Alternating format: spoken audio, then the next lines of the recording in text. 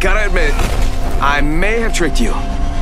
So in many ways, Mirage, his personality is based off of me. bit smarmy, bit uh, talks a little fast, gets out of himself. He's a lovable. It is a lot of fun though. it was a lot of fun. Mirage was actually a bit vague, having holo pilots of himself and like having fun with them. Mm-hmm. Yeah. And like you know, kind of like joking with them and like you know, just Yeah. basically loving himself a lot. yeah, yeah. He's very vain. Even things like when he's in the menu and you know he's going like this, and then there's the wingman in his hand. He's like, "Oh, where did that come from?" Uh, You know, like, and then he like goes like this again, it's gone, or like we're making the the bird appear. Like, there's a lot of like sort of um, new old timey vaudevillian stuff in there that I really I really love. Yeah, the, the animators Um, had a blast. Oh my them. god. I did a little bit of mocap, but most of the mocap was done by Sean. And he basically said, I thought of you, and then I just exaggerated. and I'm like, I don't know how to take that. Thanks.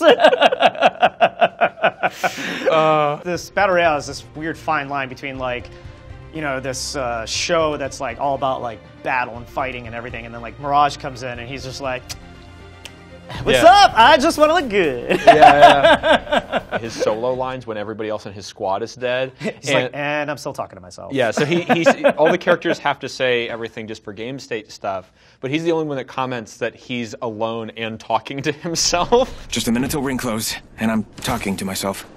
Fantastic. people don't often talk to themselves, right? Yeah, Like yeah. Caustic was a little bit easy because you know he's a bit loony and it's, Yeah. it's not too hard to imagine he likes to hear his own voice. Yeah, But most of the other characters, it's like, okay, how do I say this without sounding weird? Because you're talking to yourself, like Yeah. when the rest of your teammates are dead and you're playing solo. Yeah. Mirage was easy. Yeah, Mirage yeah.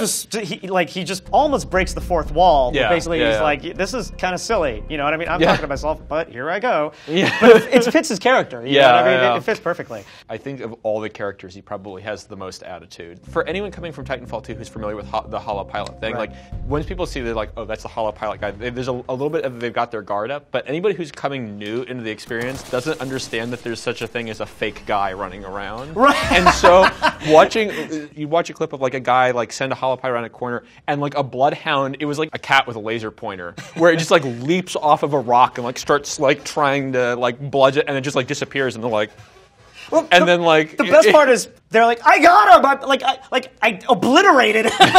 they don't realize it's fake. yeah, so it's, Granted, that's not going to happen much longer. Yeah, there's- what I mean? there's the learning curve, There's the but, learning like- curve. You know, Mirage is actually a great example of how we we like to try and come up with like a one or two or three word descriptor for a character. The trickster, like the magician, who's like Mm-hmm. Yeah. know, the vaudevillian, like Yeah. Mm-hmm. he's he's basically putting on a performance in like the holo pilots and his personality and everything. Yeah. So like, yeah, I, I just really feel that character like really came together really well. yeah, no, it's it's awesome.